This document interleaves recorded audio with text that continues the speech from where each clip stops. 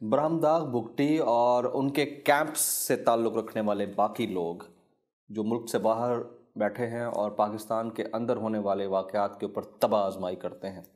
پوری دنیا جانتی ہے کہ ان کو کون چلا رہا ہے۔ آپ سے رابطے میں ہیں وہ لوگ؟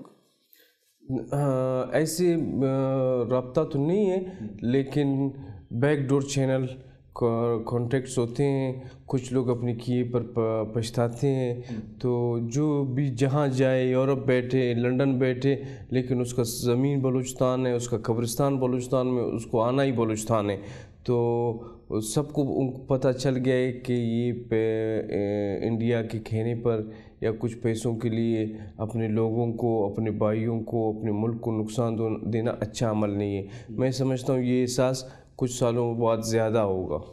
زیادہ ہوگا احساس زیادہ ہونا بہتر ہے یا تبدیلی آنا بہتر ہے؟ کیونکہ تبدیلی تو آج تک ہم نے دیکھی نہیں ہے ان کے رویے میں یا ان کے ساتھیوں کے رویے میں؟ دیکھیں تبدیلی وہ ہوں کہ ساتھیوں کچھ تحفظات ادھر کے لوگوں کے بھی ہیں کہ ادھر بلوچوں کو مخبر کے نام پر مارا گیا ہے اور پنجابی سیٹلرز کو جو ہے ان کے ساتھ بہت زیادتی ہوئی ہے کہ ان کو وہاں سے بالکل مائگریٹ کر کے آگے اپنا گھر بار جائیداد جو فور فادر سے وہاں رہتے تھے وہ چھوڑ کے آگے۔ تو ادھر کے لوگوں کے بھی تحفظات ہیں کہ آپ کسی غیر ملکی کے آت غیر ملک کے آت میں کھیل کر اپنے لوگوں کی جان و مال کے ساتھ کھیل رہے ہیں۔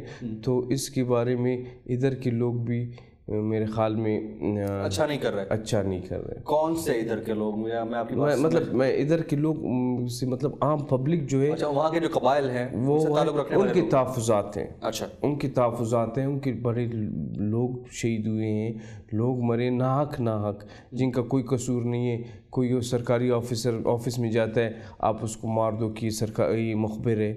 اور اگر آپ کسی غیر ملکی ادارے اور ایجنسی کے ہاتھ میں کھیل سکتے ہیں، تو میرے خیال میں پاکستان کے ہر شہری کا حق ہے کہ وہ اپنے فوج، اپنے اور اپنی ایجنسیوں کے ساتھ مل کر اس ملک کی دفاع کرے۔